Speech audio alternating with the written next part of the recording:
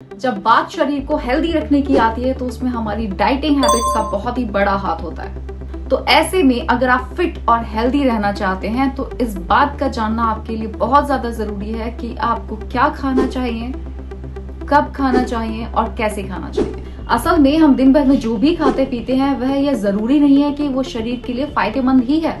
इंसानी शरीर में तीन मुख्य तत्व होते हैं, आपके वात, पित्त और कफ। जब भी इन तीनों में संतुलन बिगड़ता है, तभी मनुष्य बीमार पड़ता है। इसलिए खाने से जुड़े कुछ चीज़ों का आप खास ध्यान रखें। स्पेशली जब भी आप सब्ज़ियाँ पका रहे हो तो उसे ओवर कुक्ड ना करें मतलब कि उसे ज़्यादा लंबे समय तक ना पकाएँ। इसके साथ ही आपकी सब्ज़ी जो है, वो बहुत ज़्यादा कच्ची नहीं रहनी चाहिए। ऐसा इसलिए कि जब अगर सब्ज़ी आपकी कच्ची रह जाएगी तो उसे आपका एब्डोमेन आपका पेट जो है, वो डाइजेस्ट नहीं कर सकता है, क्योंकि ह्यूमंस में कच्ची हरी सब्जियों को खाने की क्षमता नहीं होती है या डाइजेस्ट करने की क्षमता नहीं होती है, क्योंकि उनमें सेलुलोज की मात्रा बहुत ज़्यादा होती है। इसके साथ ही अगर आप सब्जियों को ओवर कुक्ड करते हैं तो उसमें प्रेजेंट उसमें मौजूद आप अपनी वाइटामिन एंड मिनरल्स को खत्म कर देते हैं। चीनी की जगह पे आप शहद या गुड़ का सेवन करना शुरू कर दें। इसके साथ ही आप मैदा खाने की जगह पर आप चोकर युक्त आटा या दलिया का सेवन ही करें।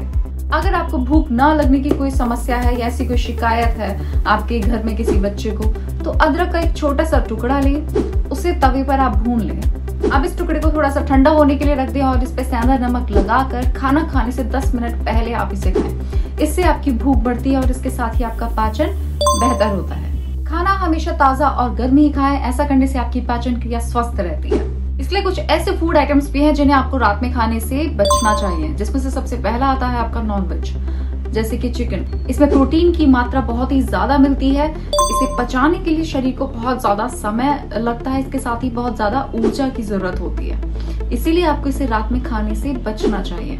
अगला है आपका मसालेदार और तीखा फ़ूड अगर आप ऐसा खाना बहुत ज़्यादा पसंद करते हैं तो पहली चीज़ तो ये है कि आप में एसिडिटी ब्लोटिंग गेस्ट्राइटिस इस तरह की समस्याओं का कारण भी बन सकता है।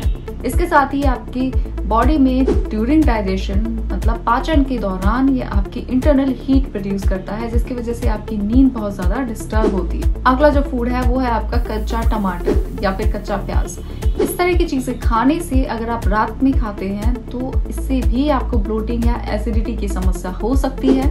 टमाटर जो होता है, उसमें आपका टायरामिन नामक अमीनो एसिड मिलता है, जो कि आपके ब्रेन की एक्टिविटीज़ को स्टिमुलेट करता है। मतलब कि आपके मस्तिष्क की गतिविधियों को बढ़ा देता है, जिसकी वजह से आपकी जो स्लीप साइकिल है, वो बहुत ही ज़्यादा डिस्टर्ब होती है। तो ये कुछ फ़ूड आइटम्स है जो आपको रात के समय में नहीं खाने चाहिए। जंक फ़ूड खाने से हमेशा परहेज करें, क्योंकि जंक फ़ूड में आपको ट्रांस फैट और सोडियम की मात्रा बहुत ही ज़्यादा मिलती है, जो कि आपके शरीर के लिए बहुत ही ज़्यादा नुकसानदायक है।